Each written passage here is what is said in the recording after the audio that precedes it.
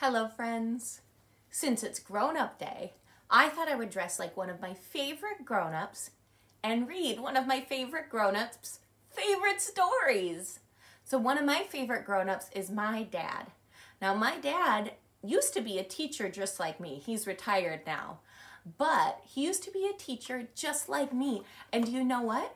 He taught high schoolers and then he taught kids in college. And he taught them about some of the best books ever written. And he even taught them how to write and speak better so that they could get their points across really, really, really well. So, in his honor, I thought it'd be fun to read his favorite picture book, which is The Saggy Baggy Elephant. This is a little golden book, and it's written by K and B Jackson, and the pictures are by Tenggren. A happy little elephant was dancing through the jungle. He thought he was dancing beautifully. One, two, three, kick! But whenever he went one, two, three, well, his big feet pounded so that they shook the whole jungle. And whenever he went kick, well, he kicked over a tree or a bush. The little elephant danced along, leaving wreckage behind him, until one day he met a parrot. Why are you shaking the jungle all to pieces? cried the parrot, who had never before seen an elephant.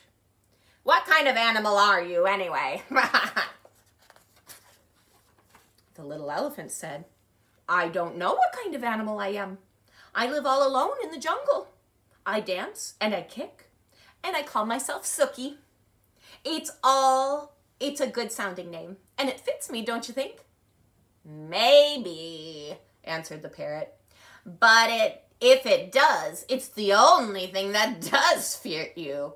Your ears are too big for you, and your nose is way too big for you, and your skin is much, much too big for you.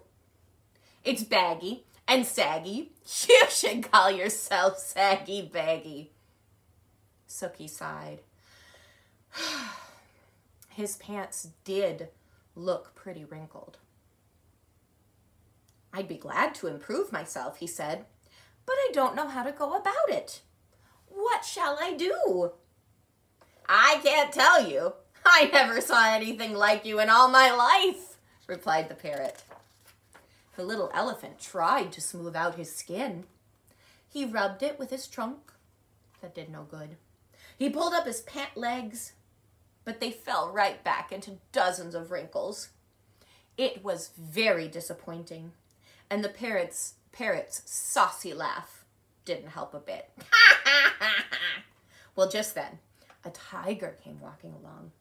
He was a beautiful, sleek tiger. His skin fit him like a glove. Sooki rushed up to him and said, Tiger, please tell me why your skin fits so well.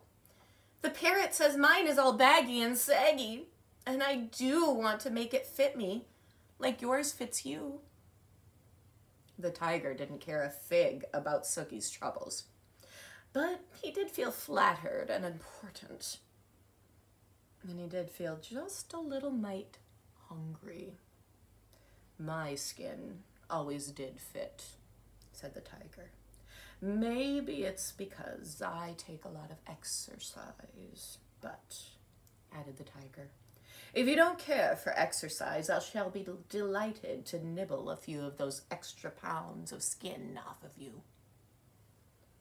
Oh, no, thank you. No, thank you, cried Sooki. I love exercise. Just watch me. Sooki ran until he was well beyond reach.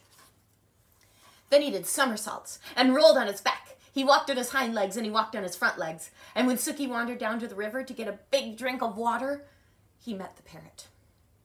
The parrot laughed harder than ever. I, need, I tried exercising, sighed the little elephant. Now I don't know what to do. Soak in the water the way crocodile does, laughed the parrot. Maybe your skin will shrink. So Sooki tramped straight into the water.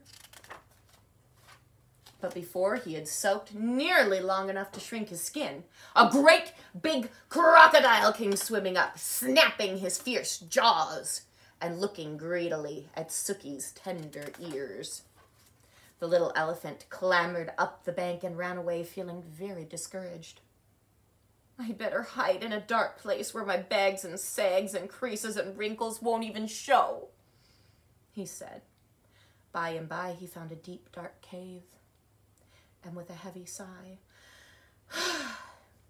he trampled inside and sat down. Suddenly, he heard a fierce growling and grumbling and snarling. He peeped out of the cave and saw a lion padding down the path. I'm hungry, roared the lion. I haven't had a thing to eat today. Not a thing except a thin, bony antelope and a puny monkey and a buffalo, but such a tough one. And two turtles, but you can't count turtles. There's nothing much to eat between those saucers they wear for clothes. I'm hungry. I'm so hungry I could eat an elephant. And he began to pad straight toward the dark cave where the little elephant was hidden. This is the end of me. Sags, bags, wrinkles, and all, thought Sooki.